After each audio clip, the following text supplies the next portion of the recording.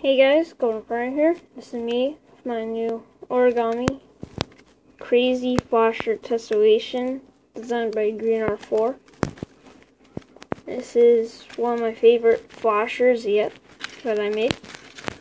It and like my easy oscillating flasher tessellation has the same concept as the easy flasher tessellation, which I can make very easily. So yeah.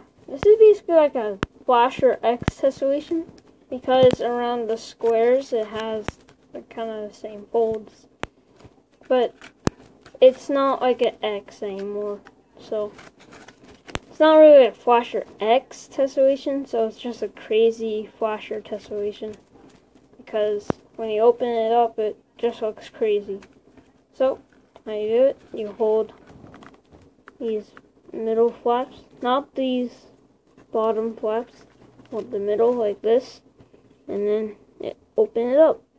Just pull her hands apart and then there you go there.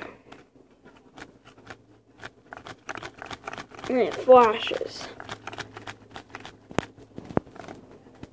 See around here and here.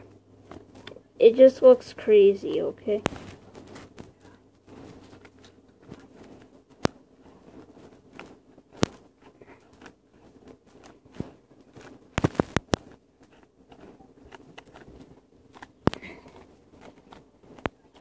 Man, my light doesn't have the best lighting. This is supposed to be like a dark green. But it's, in my camera, it looks like a blue green. But it's just green.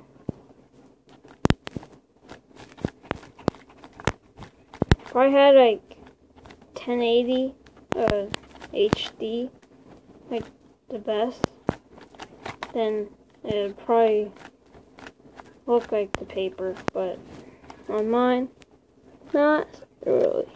But yeah, anyways, here's the crazy flasher tessellation. Okay, so these kind of folds.